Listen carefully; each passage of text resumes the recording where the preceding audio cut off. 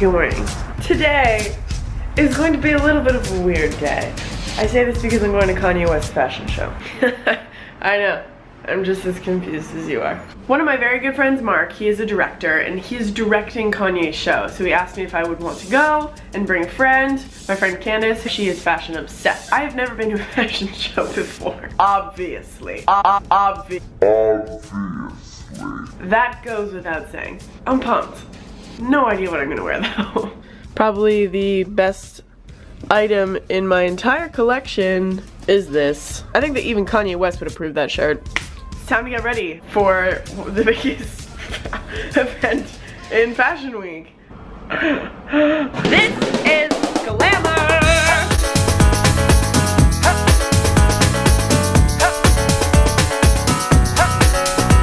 What are you going to wear to the ball, Cinderella?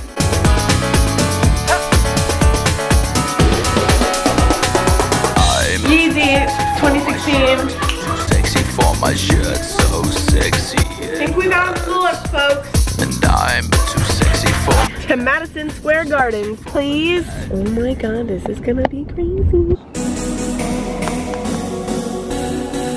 I want to get out of this car. I'm sitting in traffic for 45 minutes. New York, you should come sometime. we'll tell Kanye you say hello.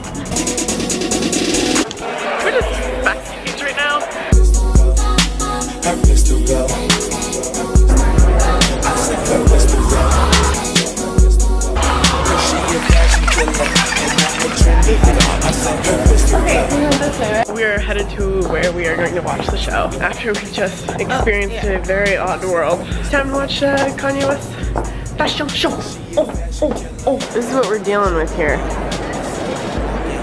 Apparently all of Madison Square Garden is sold out. Never been to a fashion show before. Kanye West, pretty good start I would say. Whoa, on a wind tour, no big deal. What? Is that Lamar Odom?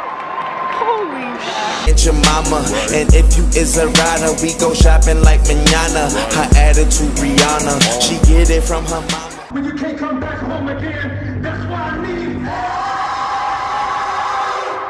Whoa, oh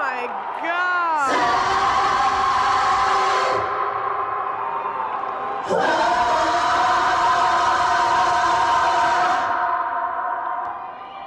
goosebumps. I said her pistol go. Her pistol go. I said her pistol go. Cause she a fashion killer and I'm a jiggy. I said, right. Tell me how y'all feel about the clothes this season.